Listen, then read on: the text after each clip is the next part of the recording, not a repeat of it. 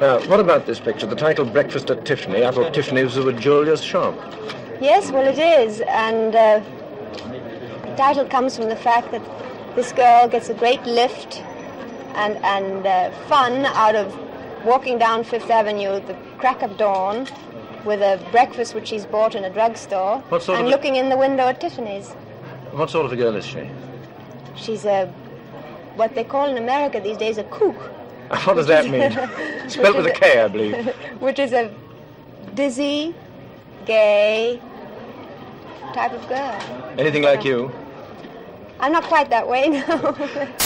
The voice that you just heard was that of Audrey Hepburn in an interview about her role in the 1961 film Breakfast at Tiffany's, which was directed by Blake Edwards and also starred George Peppard and was adapted from the 1958 novel of the same name, which was authored by Truman Capote. So, what do you get when you mix a clueless socialite, a broke writer, and a nameless cat? A shitty rom com. Breakfast at Tiffany's is the story of Holly Golightly, a New York party girl who lives in a tiny apartment with no furniture, no keys. She likes to shop at Tiffany's and visit her mobster friend in jail, flirt with rich men, and be a bit of a slut.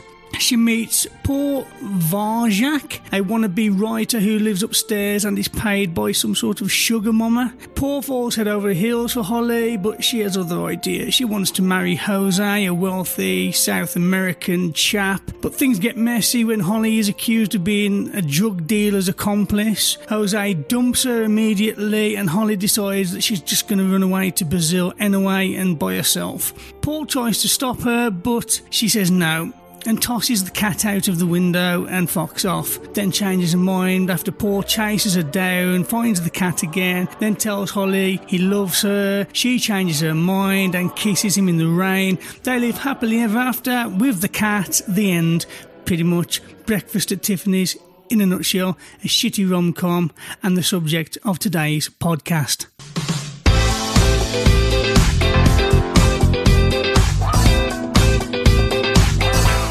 Hello and welcome to the Adapted to Screen podcast, a podcast where we take a piece of text, whether it be a book or screenplay or some shit, and we compare it with its on screen counterpart, whether that be a TV series or a film. In this case, it's Breakfast at Tiffany's, a book and a film, and we're going to talk all about it. And with me to talk all about it, I have with me, as always, Philip McCulloch. How are you? You are muted, my friend. Richie the body, how are you? I'm good, man. I'm good. I'm good. I'm good. I'm good. Thank you for uh, joining me this evening, even though you forgot. I did, yeah, but you know, I was I was close to everything, so it's all good. Yeah, But you were good. still here within five minutes, so I'm a legend. I can't That's why, complain. yeah. yeah, No, I'm a legend. absolutely, absolutely. So yes, I trust everything is well with you. Yeah, no, no, uh, all's good. Uh, very busy at the moment, you know, traveling and stuff. But yeah, everything else is cool. Yourself? Yeah, all good. Thank you. Good. Can't Good, complain. good. Very, very much the same. Very busy. Uh, so, Phil, breakfast at Tiffany's is what we're doing today. I think was it your idea? Yeah. Yeah, well, yeah, because you said you said you wanted to do something all romantic and, and, and the stuff you put forward was a load of bollocks. So, uh, you know, this way I get to see George Peppard and Audrey Hepburn, don't I? And, and, Okay. it's only 160 pages. I didn't want to read 350 pages of romance drivel, in all fairness. No, no. I, uh, you say I. It was because I wanted to do something romantic. You did? It's not because I wanted to. I just felt we should. Because I mean, yeah, we we, we might have a, a a variety of people out there listening to the podcast, and some people might like rom coms or just romantic films, and we need to cater for everyone. I think. I've done it now. Eh? That's it. Yeah, I don't think we should do another one. Fucking hell. No. Jesus Christ. At least not one from the fifties. I think you described it as a rom com. It's not a romantic comedy at all, is it? No, it is supposed to be a romantic comedy. Is it really? Yeah, yeah, Oh, yeah. It's supposed to be a rom com. I would have put it down as a drama. Oh, it was just, it was definitely not funny. So where, where was the comedy except for all the racist bits? exactly, exactly. Oh my god, it's, it did not age well, did it? This film. No. Or to be fair, there were some bits in the book that even made me go, "Fucking hell!" Yeah. Yeah, no, yeah, yeah, definitely. There, I think there was a bit where uh, she she has a, an someone come and stop with her, and she says uh, she's not a lesbian, but she is stupid, which is just as good. Oh, wait, can't say that. well, well, no, I was thinking of the N word Was that used? In the book.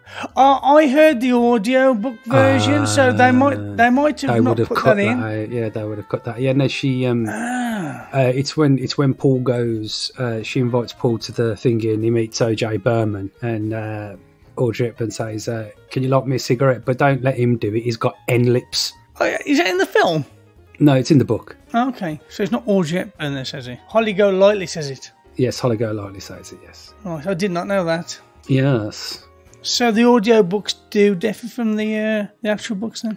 Oh, we've discussed that before. They definitely do. I don't know why, but they definitely do. Well, obviously, I can understand in that case, but um, other cases, I don't understand. Like, I think when we um, when we did the unreleased uh, Tommyknockers, there was lots of differences. Like, I mean, lots. It's like to, to the point of why have you why have you done that? Like changing the name of the dog and changing like things that they actually say. Like, why? You're just saying words.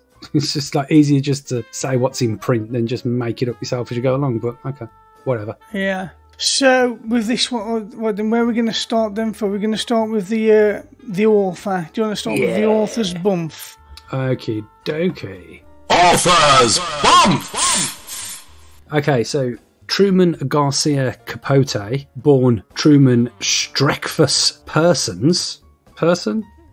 Person? Persons? Born Pearson? in September. No, there's no A, so it's definitely persons. Uh, September the 30th, 1924, and died in August the 25th, 1984. Was a novelist, screenwriter, playwright, and actor. Several of his short stories and novels and plays have been praised as literary, easy for me to say, classics, including the novella Breakfast at Tiffany's, In Cold Blood, Other Voices, Other Rooms, Random House, and Miriam. That In Cold Blood that I mentioned, I did start reading that. It's a it's, it's a true account of a multiple murder and its consequences, which was published in 1965. So I'm actually may go back and read that because I brought it because it came with Breakfast at Tiffany's. So I might have a little read back through that. But if I can find, here we go discography. Discography, what's he got here? Hundreds and thousands. He started publishing in 1945, and his last bit of work was the early, well, 2015. The early stories of Truman Capote was published by Random House. 14 previously unpublished stories when he was a teenager, uh, discovered in the New York Public Library archives in 2013. Okay, lovely. Yeah. Have you read any of his other works? No, Are you going to? Yeah, well, I've got that in cold blood, so I definitely give that a read, and I might have a look at the grass harp as well because it sounds okay. Other than that, Now, you usually do this film trailer thing in Oh, yeah. every episode. Now, the voice that you usually use, which uh, you said was the Hooded Claw last time Yes. from uh, Danger Bay, it's not, it's, it was Doctor Claw. Doctor Claw. Oh, oh, was it Doctor Claw? Was it Doctor uh, Claw, yeah. Who who, was the hoodie? That was a different cartoon. No, that was uh, no uh, from Inspector Gadget, not Danger Mouse. Did I say Danger Mouse? You did I say meant Danger Mouse. Inspector Gadget, yeah. Okay, I'll allow it. but the Hooded Claw was. What was the Hooded Claw for? Oh, was he in Wacky Races? Wacky Races, yeah. No, Flies on Me, baby. Right. So, yeah, uh, you usually do that voice, and I don't think that's going to fit this trailer because you're going to make Breakfast at Tiffany sound like a horror film or something. Well, it it it it, it was, wasn't it? Let's face it, it was an absolute fucking horror. So it's like, yeah, no, well, we should just we should just stick to it. Okay, then. Should, should you have um, a little bit of something to throw together for our trailer? Uh, yeah, I've got I've got the description right here. Yeah, Okie dokie. Take it away, Phil. A young New York socialite becomes interested in a young man who's moved into her apartment building, but her past threatens to get in the way. There you go. Pretty much what I said at the starting, but in fewer words. yeah, and it and it does sound rather sinister when you put it like that, doesn't it? it does, yeah. He will stop at nothing to destroy her. And it was at this point during the edit I decided I was going to have a go at the trailer also because that sounded a bit intense and dramatic, so I thought I'd try my hand at it. So this is what I came up with. She is Holly Golightly, a dazzling socialite who loves breakfast at Tiffany's. He is Paul Varjak, a struggling writer who falls head over heels for her charm and her beauty. Will they find true love, or will their secrets tear them apart? Don't miss the romantic comedy of the year starring Audrey Hepburn and George Peppard, Breakfast at Tiffany's, coming to a theatre near you.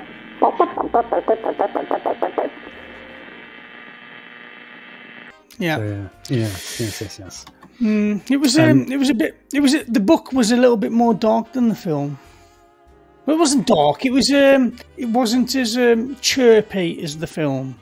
No, it was it was miserable, uh, and I think the problem is that I found I found it very difficult to shake that off when I was watching the film because I'd already made my mind about Holly Golightly. I thought she was a right slag and wanted her dead within the first five minutes, and I knew it wasn't going to happen. Yeah, I, I had a complete different picture of Holly Golightly from the book. She, to me, she came across more pompous, more upper self, more self-indulged. She, she was- she was more of a, a narcissist, whereas the the Holly Golightly in the film seemed like the person who wanted to be that person but wasn't, and she tried to put on a bit of a pretense, a bit of a face, a bit of a mask. She wasn't that way, but she wanted people to think she was. But yet and no, listen, right, she was putting herself in danger from the first second of the book, where that geezer comes home with her, and he's like, "Bab, I've paid for you, I've paid for your pals, I've paid to pay the room. What you saying?" And she's going, "Yeah, do one, mate." So how many other geezers is she doing that to every day? Yeah, like I said in the intro, a slut. Yeah, a little bit. One question, the question I've got that maybe our four listeners could answer is what go on with the powder room? I understand the powder room's like a toilet and stuff, but why are men paying her like 50 quid to go to the powder? I don't get that. Like, what's the score? I'm thinking it's a fifth, like a fifty dollar note or something, maybe. And? but she never And? gives it them back. Yeah, she's rolling it up. and She never gives it back.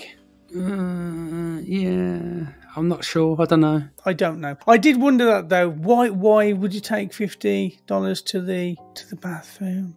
The only thing, because in the movie, when the party's going on and they're leaving through the back door, through the bathroom window, he's in the bathroom with that chick, like in the bath, smooching. And I don't know whether that is what it, yeah, I'll give you 50 quid and we can go and smooch or something. Like, I don't know. I don't know. It must be a thing that happened in the in the 50s, but I don't actually know. And you know when they say I'm going to go and powder my nose, was that Yeah. did they mean makeup or did they mean I'm just going to go and have I've got some packet, I've got a gram, I'm just going to go and powder my nose. Well, I would imagine that they actually meant like reapply their makeup. But then again, it could be snowing in San Diego, couldn't it? I'm looking through the internet trying to get an answer to this. Why she was getting uh, fifty dollars? That's Holly was simply fleecing men for their cash, ostensibly to pay the toilet room attendant. But in reality, she was pocketing the money and using it to pay her rent and living expenses. Fifty dollars for in 1950 odd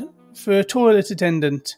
That's a week's wage. pay that now. No, Fucking give hell! the jiggy jiggy man. You give him a quid, don't you? They don't give him fuck all. Well, actually, to be fair, uh, I haven't been out in like a pub in like a town centre for a very long time. Do the jiggy men still? Well, if they do, I still won't give him fifty quid.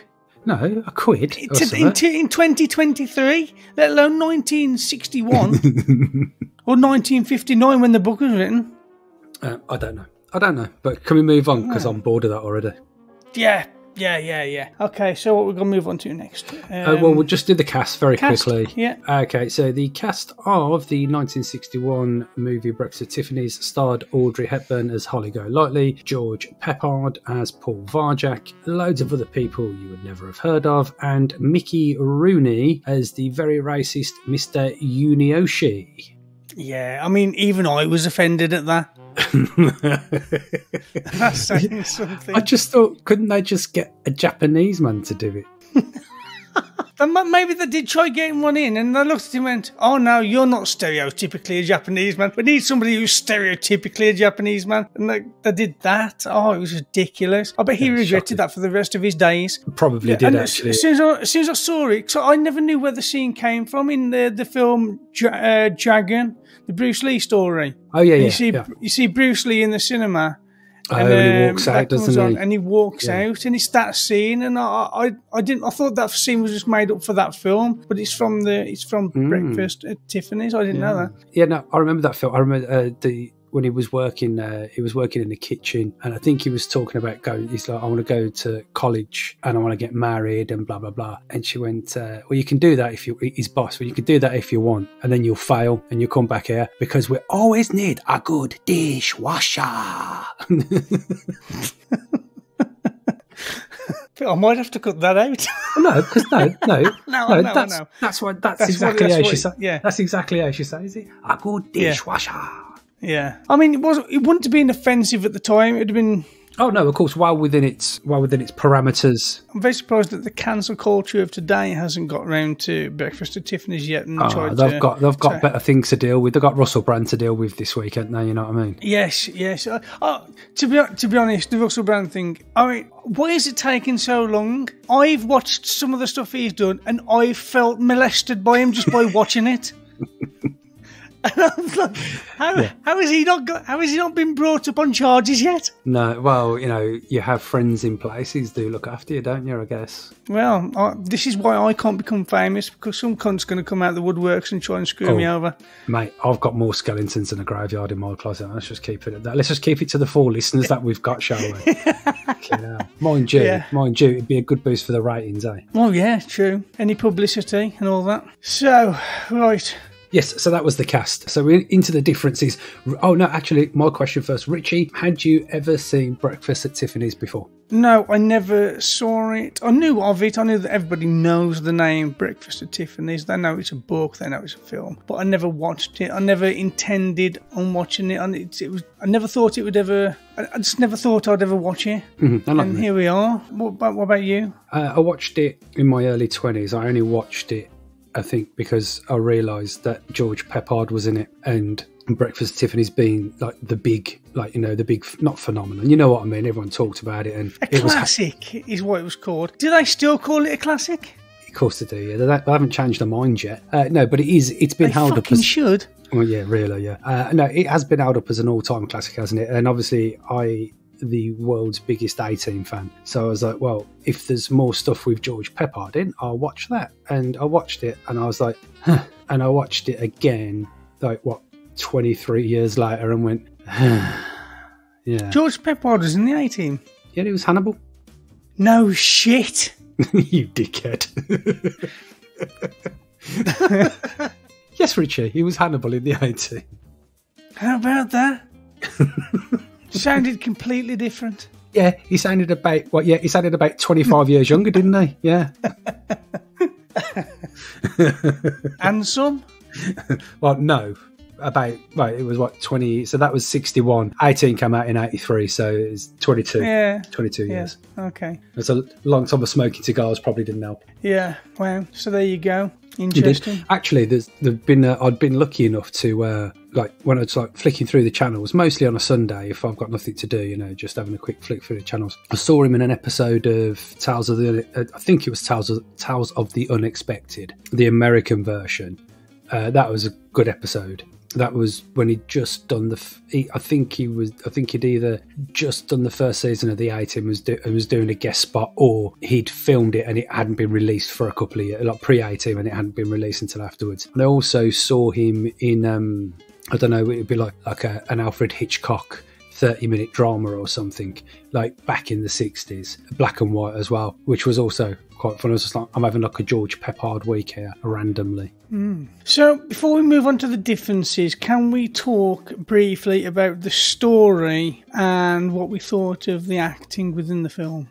Oh yeah, is this a new section or is or are you just spitballing now? No, no, no. I just want it because I watched the film and I couldn't couldn't get a storyline from the film. I said, "Well, "Where's this going? Why and what's happening?" And at the end of it, where's it gone? So I thought maybe the book will shine a bit more light on it. Maybe there'll be, be a bit more of a story. No, no, I couldn't find a story. I couldn't. It was just the the random musings of some bloke and his time with some girl. Yeah, but that's why it's a 160 page. It's a 160 page book because it was probably just just that, wasn't it? He'd probably written a few pages of something and went, I know, I'll just shove a load of this together and see what people say. And everyone went, oh, he's a genius, he's brilliant, he's excellent. And no one went, it's a bit shit, mate.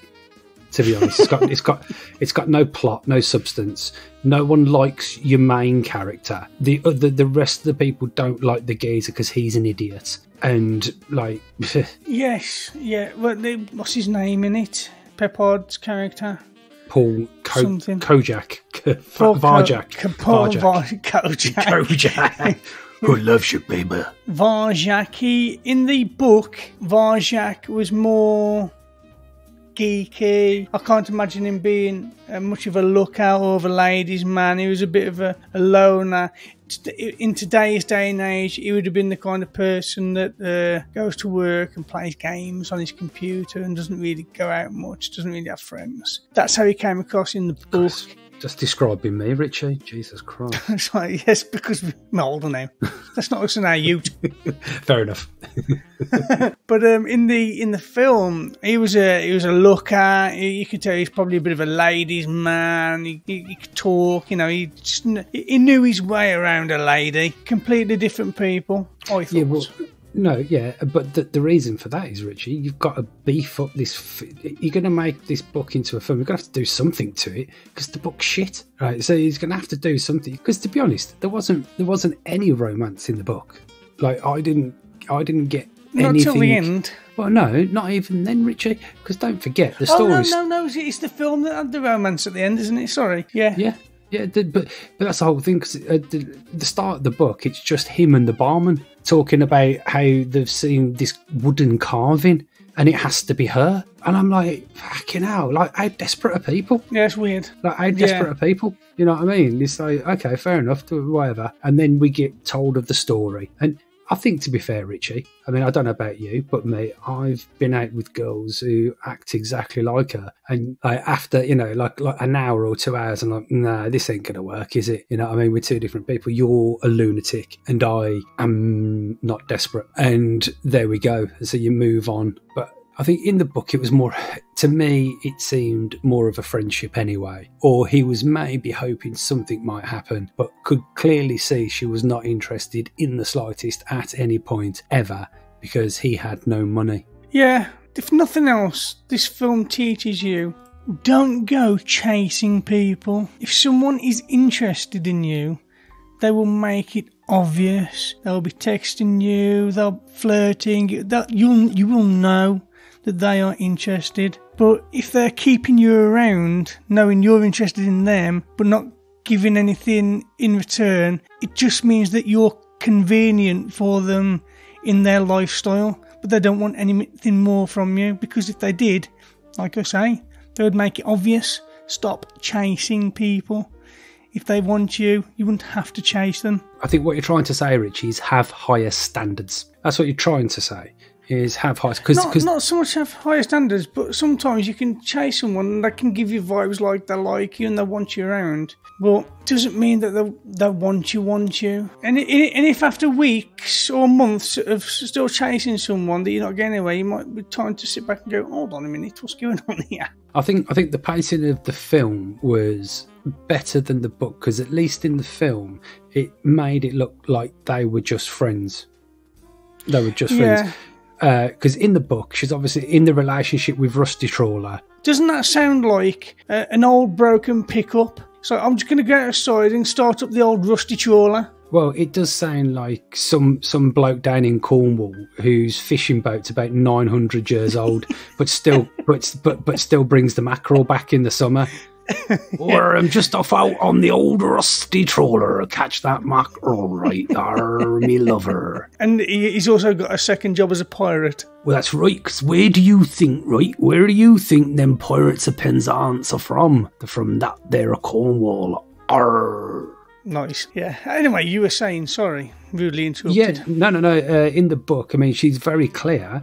It's very clear she's in a relationship with Rusty Trawler because he's got a load of cash. And then they end up going away, her and a mate and the Latino dude. And Rusty gets beaten up or gets into a fight and ends up in a back brace. And a friend ends up with sunburn. So those two go to Brazil and they come back and they have a falling out. Her and a mate. And then she ends up with the Latino geezer and her mate ends up with Rusty Trawler. And then obviously, uh, the only bit of the film that was remotely interesting is when she gets arrested for drug smuggling. That didn't happen in the film. Yeah, it did. They go to the strip club. They come back. Hold on a minute. I didn't remember this. What? What? You don't remember being in Oh the yeah, I strip oh, club? yeah. Sorry, yeah, I do remember that. Yeah, yeah. yeah. Richie, yeah. I'm disappointed, Richie, because that's the first thing you should have been mentioning. No, I, did, I didn't mention it because when she went to take her top off, you didn't see fuck all, so there's nothing worth mentioning. But I don't remember her being arrested. Yeah, they get back to the apartment and uh, Paul opens the door and the old Bill put the handcuffs on straight away. And then Mr. Yoshimoto was going, oh, yo, yo, and yo, and yo, and yo. And the police, and then they take him to the police station But why does she get arrested in the because film? she's because she's implicated with Sonny Tomato. so, so, the, so, so the that storyline is the same. There, I don't remember that in the film. Fucking hell, what were you doing? Okay, I don't know. I? I was That was- probably I was probably bored. That was like the total, the end of the film. To be fair, I, I, I think I had a game of chess halfway through. Oh, okay, yeah, no, uh, yes, uh, obviously that, that, that feared crime lord, Sonny Tomato. That I don't care who you are, right? If you go, right, mate, you're gonna have to give me protection money. All right, what's your name, mate? Sonny Tomato. You're just giving him a slap, ain't you? He's gonna. I don't care. Your name's what? Oh. Anyway, Audrey Hepburn's character, Golightly, she was very similar. There were a lot of parts which were pretty much word for word with the book. They did Yeah. take a lot of uh, lot of dialogue from the book and use it. Oh, at the yeah, start, 100%. at the, at the start, it was pretty much word for word at the beginning. I thought, oh, this is Mm-hmm. just going to follow the book completely then, but it didn't. Well, the party was a bit different because it was more of a gathering of people rather than what it sounded like some kind of uh, officer orgy. There's like a load of men and just her. Which, Yeah, yeah. It, which- it seemed a bit more upper class uh, party in the film. In the book, it was just yeah. did you notice that she had Paul's book in the kitchen? In the film, Yeah, because yeah. Well, yeah, you wouldn't she- fucking she- notice it reading a book, would you? You plonker. she she put it on the shelf. He gave it to her, didn't he? Yeah, that's what I mean. Yeah, it was in the kitchen. Wait, like, like it was in the kitchen. And she Like said when- it'll look good here. Yeah, yeah, yeah. I, I, well, Yeah. that's what I noticed. Yeah, I noticed that. Oh, That's just Okay. what I noticed. Also, well, that, that's obviously a difference in, the. See what they've had to do. They've had to make Paul Varjak not look like a little pecker weeding knacker, ain't they? So, in the in the book, he's just he, he's a struggling uh, he's a struggling writer, an unpublished writer, uh, and in the movie, he's uh, he's a toy boy published author who uh, who who has the pleasure of a woman who gives him cash money so she he can service her and write his stuff. Yes, that was a strange addition uh, to the story, adding a him being an escort to some woman. Well, yeah, ah, no, you see, I thought that myself. they did that. Well, okay, I'll tell you why they did that. Right, first of all, it's to give the indication that Paul has a relationship. Okay, so Paul's in a relationship. He's not just chasing after Holly the second he sees her, and his feelings develop to a degree that he's prepared to tell the woman who pays him money that he so he can live, I don't want your money anymore. I want love. And that's why it's there. That's why it becomes a romantic film. Yeah, yeah, but uh, okay, ro- yeah, ro- uh, romantic drama. There's nothing funny about this film. No, yeah, definitely not. No. No, not unless you're a racist or some sort of bigot. Maybe a maybe maybe a paedophile. I would do the, the paedophile the paedophile husband. Oh, let's talk. Let's talk about Yeah. him. He, he appeared in both the film and the book. Doc Golightly. Doc Golightly turns up to Varjak and says, uh, I need a friend. I need a friend. Can you help me out? He explains his story. Yeah, I married her when she was 14. I think, yeah, 14. Yeah, you're right, Maybe yeah. there was a mention of her being 13 when they met. I don't know. But they married when she was 14. And uh, Varjak's like, Yeah, I'll help you. I believe your story. I mean, was that acceptable in the 50s? This this is me. This is Lula May, and they're my children. in the book, his children are older than her. what the fuck? Which meant he was probably in. It, when they first met, he was probably in his late thirties, maybe about the same age as us now, and she was fourteen. And and Varjak doesn't question it. Yeah, I'll be your friend. That's the last person you want to be a friend. That's worse than Russell Brand. gonna start calling, referring to him as Doc Go Lightly from now on. Jesus. Yeah. So, so we had racism, had sexism, homophobia, and paedophilia, all in the space of 160 pages. Yeah. and it's and it's a classic. It's uh, for all of those reasons. It makes it a classic. Yes. So if I ever need to write a novel that I want to become a classic, I just need to offend everybody. yes. Now, my uh, my favourite bit was um, was after she got rid of Doc. She went right. We're going out drinking. And I don't want to go home until I'm blind drunk. And they're going back to the apartment, and she's run out of booze. And she goes, "You got any whiskey upstairs?" Oh, and he's like, mm. and she's like, "I'll pay you." You, you should be used to taking money off women by now. that was a killer line. That was probably the best bit of the whole film. My favourite bit was when they were actually in Tiffany's. I, Yeah, I enjoy, I, don't know too. why. I, I quite enjoyed the bit where them looking for a gift for ten dollars. I quite enjoyed that. Yeah, and the look on the gazer's face is like, "You sure?" Yeah, the, the bit where them in, in the book where she they decide to go steal something from the dollar store, or whatever. In the film, they made a big song and dance about it. They tried to make it funny by doing loads of different weird shit that wasn't really funny at all. No, no, I know what you mean. And then in the book, it's like about 10 seconds. And Yeah. it was like, it, it just is what it is. it's stealing something for a laugh. Yeah, no, I mean, I think I think the bits that they added in the film actually were decent that weren't in the book. Like the Tiffany scene, thought that was pretty cool, and the, probably the the details, like you know, getting the ring out of the Cracker Jack box and stuff like that. Again, it's funny, just made me smile a little bit. And it was probably the book's long enough that you've got to use all of it. I was think I was a bit disappointed that the um, Joe Bell, the bartender, was in it for about a second, considering like he's like one of the main characters in the book. Yeah, he's one of the main characters, isn't he? He's almost like the, the third main character. Yeah. I don't even remember him in the film. No, no, it's when he's uh, it Paul uh, Paul's in the pub after she's been arrested, and and he's in the bar, and there's just a picture of well, just like the barman stood behind the bar, and you're like, oh, it's Joe Bell, and then he gets on the phone to OJ Berman, and it's like, it's Paul. He's like, Paul who? It's Paul Varjak, V A R J E K. And he's like, Paul who? He's like, Fred baby. He's like, hey, Fred baby, because just gets called Fred. And to be honest, I don't even think, I don't even think uh, in the book, I can't remember him being called Paul at all in the book. I think it was just literally Fred. I don't think he's referred to by his name at all. I don't remember a whole lot about any of the film or the book. It was, um, yeah, it's not, it's not one I'm going to go back to. No. And of course, of course, the biggest difference is at the end where she legs it to Brazil and never to be seen again. And in Hollywood, you can't have that because uh, you can't have that. So they smooch, and she stays Yeah. and faces and faces racketeering charges. And, f- and finds the cat immediately. He had to search Yes. for fucking ages, and then when he found it, it fucked off and lived, started living with someone else. Little knacker. Yeah, the ginger twat. Um, so yeah, I mean that's that's pretty much it. It covered, I think, all the different. I mean, there wasn't a load of differences, but um, what do you take away? So, if from this film, if you can take anything away, what could you take away? uh, that it's racist, sexist, it covers paedophilia, drug running, uh, and promiscuity.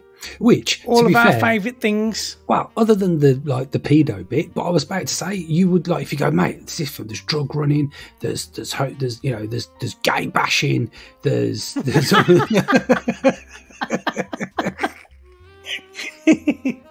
there's slags, there's there's fucking police raids. You go, oh yeah, go watch that, and I. But then you go, it's Yeah. breakfast Tiffany's. You go, no. I mean, that would that would have been the best way to sell the film, wouldn't it? Back in the fifties. Right, I tell you what, I tell you what, the The- biggest takeaway for me was the fashion. I thought that everyone was dressed fantastically, if that is an actual word, but just like the coats, the suits, the dresses, just everything. It was like that must have been the best time to be alive because even like even like the crappiest clothes look brilliant. Yeah, but they weren't working class, were they? I mean, if you go into different parts of New York or the, the you know the the less affluent places, you just see hmm. people with like a cloth shit on and loin Loincloths, loincloth. fig leaves. It was just that part of New York. Yeah, everyone was dressed really well. That was my takeaway. The, the wardrobe Yeah. department was very good. Oh, I also liked. Uh, I also liked when uh, Paul was splitting up with his uh, sugar mama, and he just like opened the cupboard. You just think it's a cupboard, and it's um, like it's like a, a whole nother bedroom just full of clothes. You're like, shit. She was spending some serious poke on this geezer to get some. He must have been giving her some serious poke. Hmm. Yeah, I don't, do I have any takeaways? No, I don't. I don't. I don't- I don't have anything to take away from this film. If you ask me in two years' time, what do you remember about the film? You don't even remember the end two days ago. You don't remember it now. I, I, I even watched the end. Uh, I do remember the end because I watched it earlier. They're in the back of the car and they they're talking, and it, she got rid of the cat. It's, it's just all very boring. Um, I wouldn't recommend it. Out of ten, uh, both the book and the film, I'd give a three. Ooh, that's harsh criticism there, uh, Richie. The body armor. I give it a five. Yeah, both. They can have a five each. Neither was better than the other. No, no. I probably agree. read the book quicker than I watched the film, so in that respects, the book was probably better. Actually, no, that's not true. No, no, no. Hang on, that's not true. I love George Peppard. The film was better. I, I, I'll stick with my three and three. But Okay, right. In. What about recasting? I mean, if we're gonna recast, we're gonna have to remake the film. If we're gonna remake the film, there's so much gonna have to change. I mean, it's, you, you, you, you, you, it's gonna be a different film, isn't it? No, it stays exactly the same. I don't think you can get away with it. I don't think you could do it. Of course you You can. wouldn't be allowed. Yeah. You wouldn't be allowed. No, of course you could. I think for, for this episode, Oh, go on then. we're going to change the film. We're going to change the oh, film. Oh, right, okay. When we change the film, we're going to change the cast as well. So we need to talk about what we're going to change in the film and the cast that we're going to use. So I'm going to let you Okay, then. start. Phil, you can start with who, who would you cast for this new and improved version of Okay. Breakfast at Tiff's? And that's what Okay, it'll so- be called, Breakfast at Oh. Tiff's. Right, okie dokie. So, for Holly Golightly, either Jennifer Lawrence, uh, because she's. I was thinking Jennifer Lawrence. Yeah, because she's dead fit, right? So I can I can kind of have it, right? Or and she's not my cup of tea, but I think looks wise similar, the accent and all that. You could have uh, Gal Gadot as well play the role, and you'd probably have something quite similar to what you have with Audrey Hepburn. I don't know who that is. I'm going to have to type her. Wonder Woman. I didn't watch it. Okay, I'll type her in anyway then. Gal Gadot. I'm, I've definitely spelled that wrong. I think she's French anyway, and she's kind of got a similar look, so it would probably work if anyone really cared about her. Oh yeah. Ooh. Okay. She looks a little bit like Audrey Hepburn. That's why I suggested it, Richie. Okay. That's a good shout. I like that. Oh, good. Okay, that's good. So, have you got any anyone to add Um, for the female lead? for the female, I, d- I, I don't think so. Okay. Um, maybe Summer Glau. oh, I don't know her. Are you going to make me look up porn actresses now? No, she was the she was the Terminator in um Okay, in the series. Yeah, no, that's not going to work, is it? Oh, probably not. No, Okay. she's probably too. Uh, no, because whoever it's got to be, it's got to be like nineteen. And Jennifer That's Lawrence is far too old now. Yeah, and she, no, Summer Glau's yeah. a lot older now, so she's not going to work Yeah. either. Yeah, okay. Yeah, but if it's a completely different film, there can be a completely different age. Richie, this Emma is why Watson. I said. Uh, Because is she can hot- be glamorous. Yeah, is she hot enough though, mate, to have all that aggro? Come on now. I'm just asking the question. Come question. on. Emma Watson. God damn. Okay, then what about men? Then what about men? What about your mate Zac Efron? Yeah. Yeah, Zac Efron would work. Channing Tatum. But this is the age thing, though, isn't it? You've got you've got to be like you've got to be careful about the age. Maybe, perhaps, do you? Don't you? Does it really matter? You could have uh, Russell Brand. Yeah, yeah. Oh, No. actually, you know, you know who I think would be good. Uh, again, it's a little bit old now. Well, probably he's a lot older now. But someone like either James McAvoy or Matt Boomer. But Matt Boomer is probably like in his mid forties now, so it wouldn't really work as well. But I don't really know that many young, attractive men. Um, me, I could do it. No, Richie. Maybe from maybe from the neck down. Hold on a minute, you cheeky. I've got, got an amazing face. It's just covered with a beard at the moment. Um, I really don't know. I, don't, I really don't know who I'd choose for. Okay, so so geezer? who's- okay, so who so who who who you gonna pick for the racist uh, man who lives upstairs? Um, the, the Japanese guy. Yeah, Kevin Hart. Give him some false teeth and put some sellotape up over his eyes to pull them back. No, no, no. He doesn't have to be Japanese. Uh, he could just be a black man with a Japanese name Okay. and going, Right. "Hey, motherfucker, come come on in here, forget Yeah, your because- key, bitch." because that, that, that part was meant to be funny. That was clearly supposed to be funny, but it wasn't. Kevin Hart could bring actual humour to the film. That's that's that's why I said it. Yeah, that that could work. I can't think of any funny Japanese people, so yeah. Uh, Are Japanese Lee, people funny? But, but well, isn't Bobby Lee Korean? I don't know. Oh, what about uh, the geezer? The geezer from The Hangover. I like him. Which one? The Japanese geezer or the Chinese geezer. Oh, Harold and Kumar. The one he was in Harold and Kumar. He was Harold. No, no. That's he would work him. as well, though. He would work as well. Yeah, but he's a bit young. You want them to be a bit older, don't you? No, he's quite old now. I saw him in a film not too long back, and he played the father of someone, and I thought, "Fuck it! Oh, oh my god, Oh, okay. we're, we're getting old." Yeah, it's very true. Yeah, no, he would be good. I, I would like him in it. I mean, th- th- this whole episode, we, we- I think we, we're, we're treading on thin ice with this episode because, I mean, is he Japanese? Is he Chinese? And I don't, I don't want to, I don't want to be Asian, that person. the that's like- Asian man, the Asian man, The- the Asian man, Yeah. Do you know?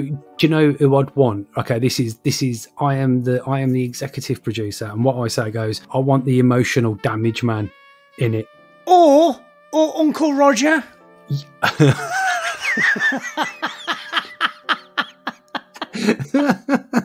yeah, either emotional damage man or Uncle Roger. You see how our casting's Yeah. just turned to YouTube Shorts, and that's how we just start casting people from our YouTube shorts. I actually, I actually sit down and watch a lot of Uncle Roger stuff. It's brilliant. Aye, aye, aye. he's, he's, he's Chinese. He's not Japanese, but I'm pretty sure he's Chinese. Yeah, he is. He's definitely Chinese. But um, it's a good job we haven't got millions of listeners because we would have some complaints this week. Yes, yes, of, of of cultural reappropriation or whatever. Yeah, I just want to state for the record, neither Phil or myself are racists in any way. We just Speak for yourself. know. We just don't know how to how to approach the subject on in a correct manner. Indeed, yes, yes, indeed. So th- those are the th- uh, some of the characters we'd change. Uh, when it comes to the film, I would want to add some sort of a storyline. Yes, yes. I would like a storyline as well. That would have been good, rather than the bird goes out and gets pissed up and then Yeah. gets arrested for drug smuggling. I mean, it would, it would, it would basically be, it would, ba- it would follow the basic rules of any romantic comedy, I suppose. It's the guy meets girl, guy likes girl, guy tries to get girl, which is what this is. But it's like, Yeah, what, what what you're missing is the components that they bring in in the 1980s to other people. So you so you've got you've got the boy and the girl who like each other, or one likes the other. The girl's got a friend who tries to help set them up. The bloke's got a friend who goes forget about her and move on to somebody else. And then there's a load of serious and misfortune misfortunate events, and then they end up together at the end. Big argument because something happened and uh, they all they both Exactly. separate from each other because well, it's just isn't gonna fucking work. And then the mate says, "Well, if you really love her, you go, you're going to chase her down." And then he goes and chases her down, and oh, I can't Croc- believe I was like, like in Crocodile Dundee. just like that- in Crocodile he- Dundee. Is that not what happens? Yeah, he decides he's going to leave and she chases him down to the subway and they pass the message all the way on down the thingy and he passes the message all the way back and then he climbs on everyone and they smooch and then he stabs her with his dick.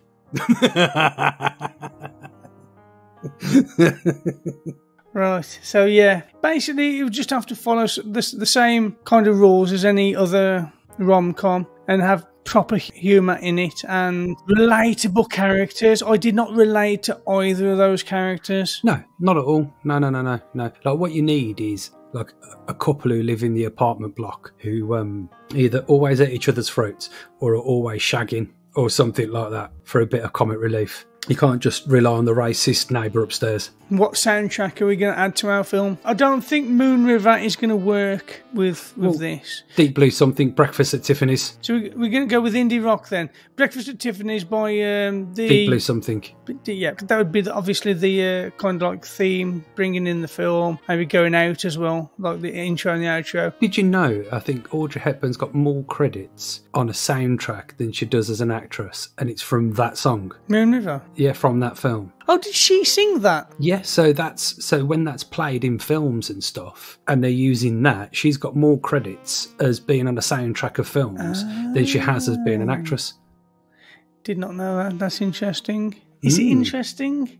It's something. Well, it's something you didn't know, and now you do. Ask me if I remember it tomorrow. You don't remember her getting arrested in the film, Richie, and you watched it two days ago. I, I didn't. I didn't think she was as attractive as everybody makes her out to be. Yes and no. Again, it's about the times, isn't it? I suppose in the fifties. Yeah, yeah, 60s. no, yeah, yeah. I mean, let's face it, Richie. Right? You know, you know when you go around one of those old manor houses and you see the oil painting to these people, and you're like, "What fucking stone were they hit with when they were born?" Because they are the ugliest people you've ever seen in your life, aren't they? You know what I mean? It's you know, obviously people get better looking as uh, time goes on, but yeah, no, I, I think she, she was attractive. Don't get me wrong. I, I, I thought she was attractive. Like you know, she's not Jennifer Lawrence, is she? No, no. So yeah, I, I think that pretty much covers all of it. I don't really Hmm. think there's much else we can No. say about the film. to be honest, we spent 20 minutes talking about what we'd do better. We never do that. So, No.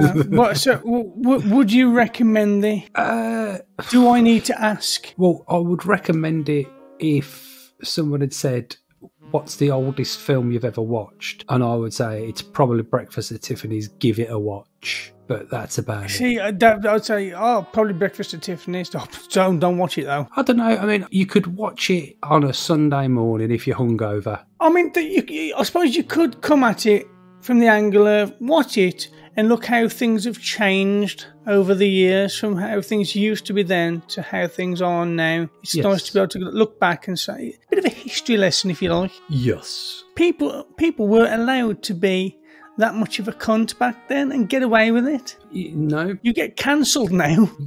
Or uh, sexually assaulted if you behave like yeah, she does. yeah, I'm not saying, you know, but it can kind of encourage that kind of thing, can't it? yeah. Especially when Mr. Golightly is marrying a 14 year old.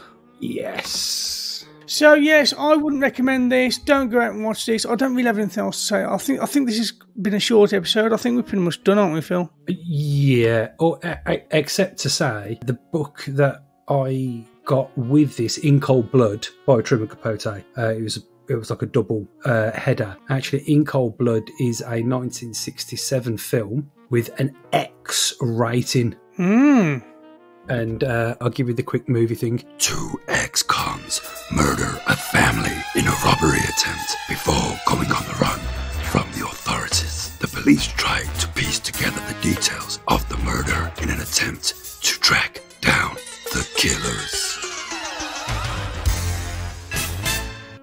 That sounds quite exciting, doesn't it?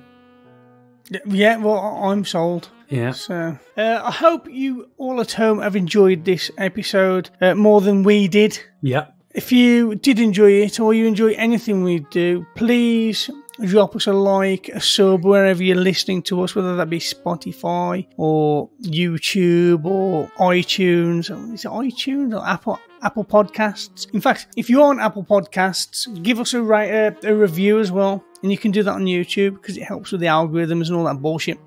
So please Tell a do friend. that. Tell a friend. Give us some suggestions. I just want to shout out Ben Mowbray. He sent me a link earlier with some recommendations. Yes, Ben. So yeah, thank you for that, Ben. And Cheers, Ben. yeah, cheers, Ben. Bless your fucking heart. And yeah, um, I'm missing something. If you want to follow us, also we've got a website which will be in the You've done that. links. And I feel like I'm missing something. No, No. Just the will to live, I think, after this Just the will to live, Yeah. just the will to live. So thank mm. you everybody for listening, if indeed you still are. I've been Richie. I've been Philip. This has been the Adapted to Screen podcast. Yeah. Breakfast at Tiffany's, the book, versus Breakfast at Tiffany's, the film. Fuck off.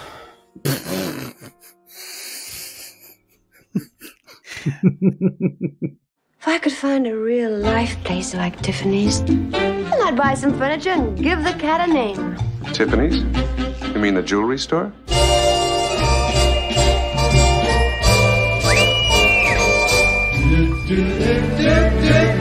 Don't you just love it? Love what?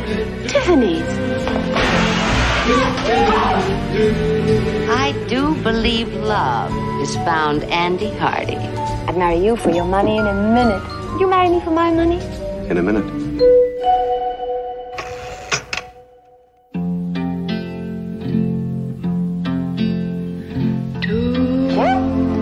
drifters off to see the world. There's such a lot of world to see. People don't belong to people. I'm not gonna let anyone put me in a cage. I don't want to put you in a cage. I want to love you. Hi. Hi. What you doing?